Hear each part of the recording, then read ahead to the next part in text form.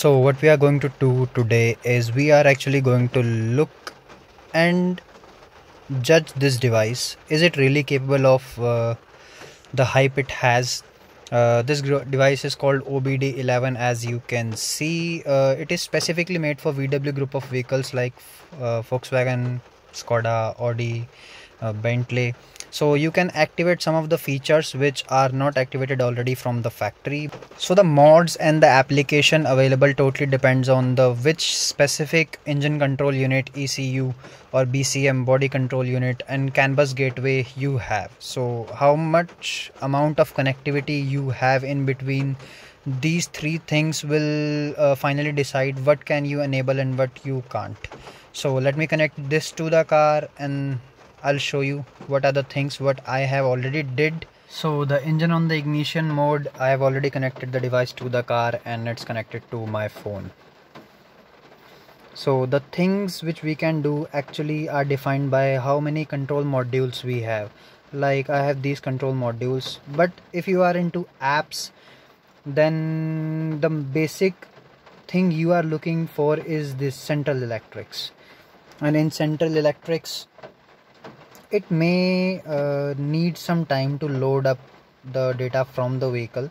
Depending upon the internet connection speed you have plus the reading speed of the device. So till the time it connects let me show you things what i have did already.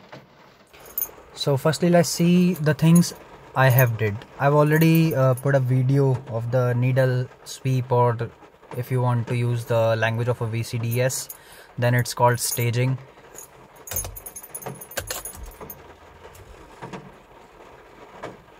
so this is the first mod I did. Uh, it is one of the application that is a version 2 which has the backlit. Uh, version 1 doesn't have the backlit. And the second thing I have did is uh, you can scroll through the screen. There is one more screen added into the MFD which is called uh, volume to replenish this screen. It will tell you how much quantity of fuel you need to uh, fill up the tank. It is a rough estimation. It works in the uh, range of 5 so it will show you data like 10 15 20 25 so this uh, screen is not available on the stock polo.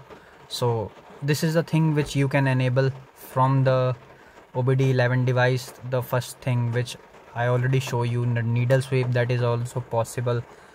And the third thing uh, which I did is tear wipe which was not present in the 2014 to 16 polo. Uh, okay let me show you. If I wash the windscreen it will wipe one more time after 5 to 6 seconds.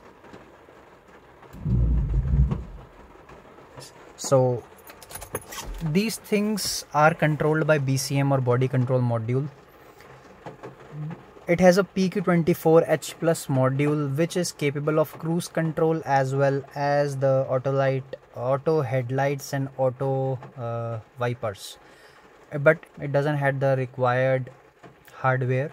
So now we are connected to the car as you can see it has identified the vehicle. Next thing we have to do is so now we are into control modules. If you are in looking for the uh, apps or needle staging you can find that in cars. You will have your car here. Apps. And these are the possibilities you can do. So first thing was needle sweep. It is the v2 version 2 refuel quantity needed. I tried to did the refuel refuel quantity from here but it was not uh, performing well. So I did it from the dashboard module and then it started to work. Automatic locking you can enable or disable that sound actor. We doesn't have we don't have sound actor in our vehicle. Electronic stability control and traction controls is for petrol models with the GTTSI locking and unlocking acoustic confirmation means when you lock and unlock the car from the remote the horn will sound or not. You can lock or unlock that windows function windows up and down when you press down when you keep the button pressed down lock or unlock. Static cornering light with every indicator. If you started the left indicator the front left fog light will will come on and off according to the indicator. MirrorLink in motion it's for uh, 2016 after the 2016 models which have a touchscreen display system central lock on with ignition so as soon as you uh, turn on the ignition your remote get disabled. You can turn that off. You can still use that remote. I don't know why you would want to. Gauge test needle sweep that's the first. Without the backlight is the version 1 if you have the touchscreen system you can actually change the DRL settings from the head unit. You can have that menu on or off you can put up a lap timer on your dashboard. Scandinavian DRLs I guess this thing is not supported uh, uh, due to the light we have not because of the uh, BCM actually. Video in motion same. You can use your touchscreen to play videos if you have a, a um, head unit which support videos. Seatbelt warning we already don't have so we don't have to. DRL off with handbrakes pretty much self-explanatory. and open door alarm. If your door is open if you want to turn that turn that alarm on or off you can do that. Retrofits mod you need to actually buy something hardware. And the workshop manual workshop mods you can reset your TPMS uh, inspection service and oil service light as well. But the major focus is actually on the control modules. Central electrics so now we are in central electrics. We can actually look into the live data. We have to enter the channel. What do you want to look at? Still there are very few i would say very few in central electrics for the live data. But central electric main things lies in the long coding you can actually turn on and off a lot of things. As you can see I have activated that lap timer remote control modules comfort function for uh, your windows and you can turn on or off the acoustic confirmation horn thing if you don't want to spend credits from direct apps you can do it from here without spending the credits.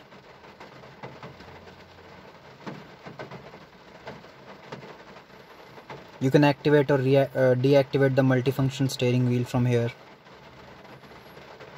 Cornering lights coming home lights and leaving home headlights. But uh, they don't work because uh, in our model the BCM actually controls just the fog lights not the headlights. But backlights are also supported by the BCM I've tried to actually enable this uh, screen on the dashboard which is oil temperature but it it doesn't work. I've already activated this thing uh, when you brake hard your uh, indicators will flash automatically brake like activation uh, via BCM or body control module.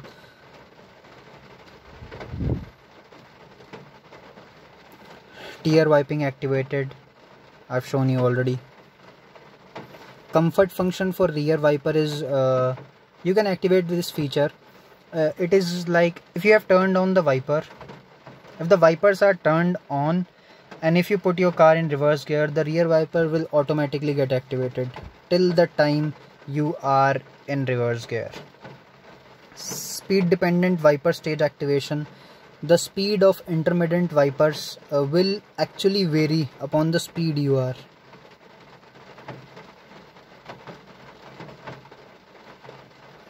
Lamp diagnostics for the daytime running light rear fog lights the we really don't want to turn on these things because it means if your uh, brake light bulb would get fuse or blown it will throw a check engine light on your dashboard cluster or the MIL but the thing is when you see a MIL light on your dashboard cluster a blown bulb is not the first thing that comes into your mind.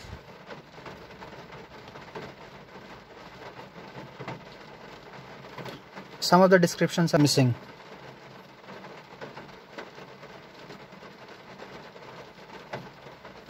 cornering light functions.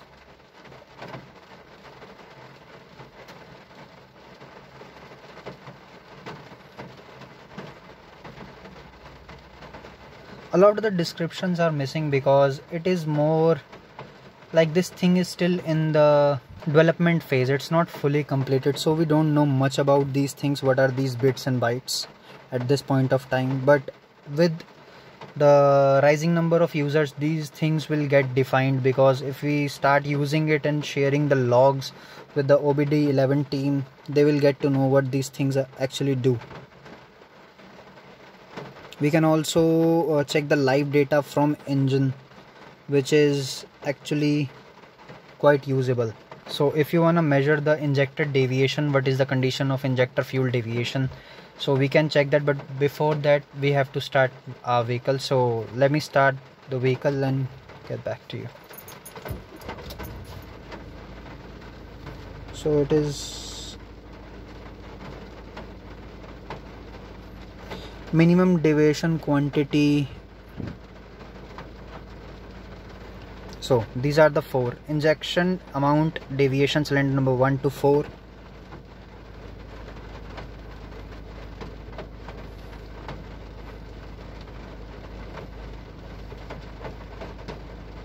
so it's the real-time data. But for these things you have to uh, make sure that your engine is in running. Next thing uh, you we can actually check for vacuum leaks. So it's uh, called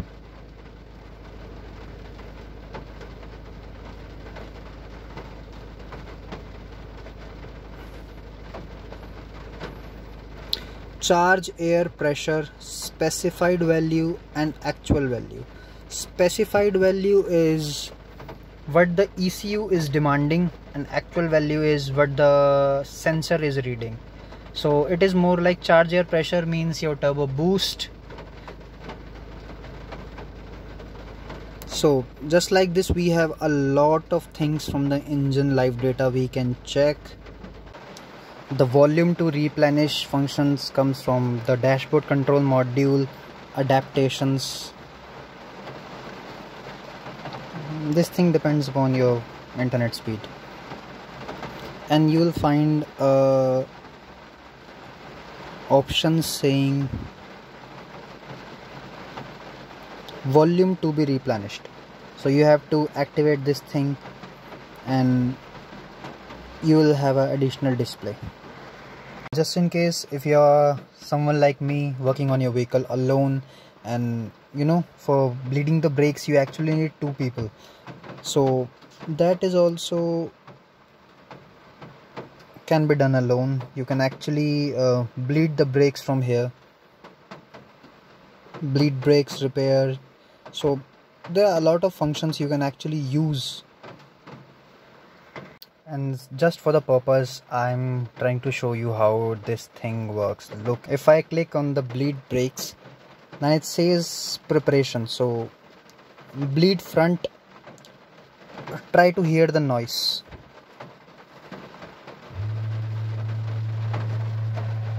My ABS light came on. So we have to stop it from here now. Stop so in that way it can the BCM can command the uh, ABS motor to work and help the brakes to bleed. And this is the long coding of brakes. It really doesn't have any kind of description. So I advise not to mess with it because if you have a car that doesn't run it's still safe. But if you have a car that runs but it doesn't stop that's kind of not a safe situation to be in so in this you can also change uh, the lane change indicator flashes for three times. If you want to change that value for 3 to 4 till 5 you can change that. If you want to get the DRLs installed from outside you can just connect that DRLs from the parking. There's an option in the long coding of the central electric which says parking on with terminal 15 on. Terminal 15 is nothing just ignition. So you can just uh, install the DRLs without any DRLs relays needed. Your parking will remain your parking light will remain on as soon as you turn the key on. You can scan the DTCs you can scan the separate modules alone if you want to uh, you can tinker with your brakes you can tinker with your headlights you can tinker with your backlights flashing scandinavian drls if that's possible. Totally depends on the model of bcm you have whether it supports or not. So it's quite a usable device or i would say it's quite a useful device if you really want to uh, tinker the settings of your vehicle. But uh, one thing for sure the long coding of the engine has no description in it. So you don't know every bit and byte for what it stands for. So do not mess with the engine long coding and brakes long coding if you don't know what you are doing. In short it all boils down to which variant of the vehicle you have. If you have a comfort line or a trend line variant baseline variant then you have a lot of scope in terms of apps and the things you can activate for uh, which driver can actually see and feel. But if you have a highline variant or all-star variant above variants then there are really less things because a lot of things are already activated from the factory for you. So this is the thing uh, manufacturer does actually intentionally because after two or three years the vehicle needs a facelift and needs to have a little more feature than before. So they plan it in advance and just activate it later on in the years of the vehicle. For someone who is actually into DIY stuff and need to know what his vehicle is doing this is a great tool to have